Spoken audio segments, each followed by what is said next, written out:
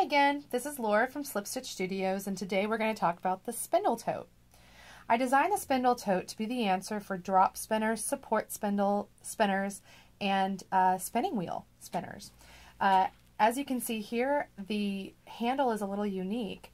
It snaps off here and can actually be turned into a wristlet. This is excellent for using to draft and take this on the go so you can drop spin anywhere. Uh, it's also great because you can slip it over the um, parts of a spinning wheel and draft from here or use it to hold your orifice hooks or other items. Um, this bag does not have any zippers, Velcro, or drawstrings as you can see. It was designed specifically like, specifically like that so that uh, you wouldn't felt your fiber as you pulled it in and out with your drop spindle. So there are three snaps in this origami type shape here. And on the inside, if you can see that, it's fully interfaced. And here we have uh, an elastic band to secure your tools.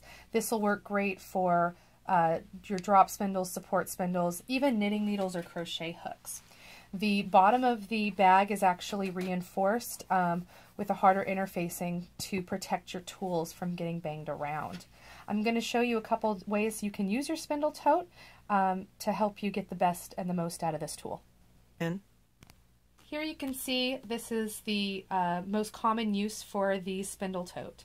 Uh, securing your drop spindle in here along with uh, your fiber, you can put up to 8 ounces in there. And then once you've got your spindle out, you can actually draft directly from the bag, which is awesome. You can hook this onto your waist or your arm and then just drop spin right there from it. Um, it makes it an excellent carrying case for this, supports your spindle and your fiber at the same time. Um, definitely a unique item that you don't see everywhere. Here you can see we have several different spindles supported in here. And also down below we can set the bowl, uh, bowl for your support spindle right down at the bottom. And because of the hard interfacing, it won't bow or cause your bowl to get jumbled around.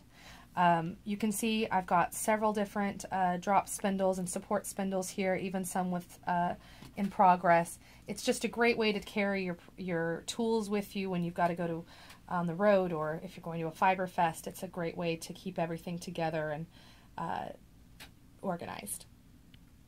Last but not least, you can still use this as a great project bag. Uh, this snapping this down and, and pulling yarn out through uh, one of the uh, gaps in between the snaps is a great way to have kind of an automatic yarn guide. You can secure your knitting needles or crochet hooks uh, the same way that the drop spindles can be secured.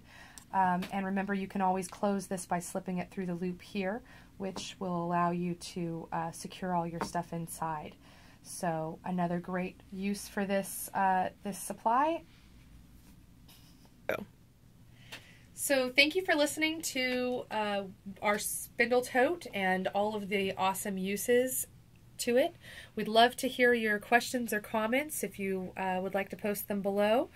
Uh, if you have any questions or would like uh, to know anything, you feel free to email us at customer service at slippedstitchstudios.com. Thank you so much. Have a great day.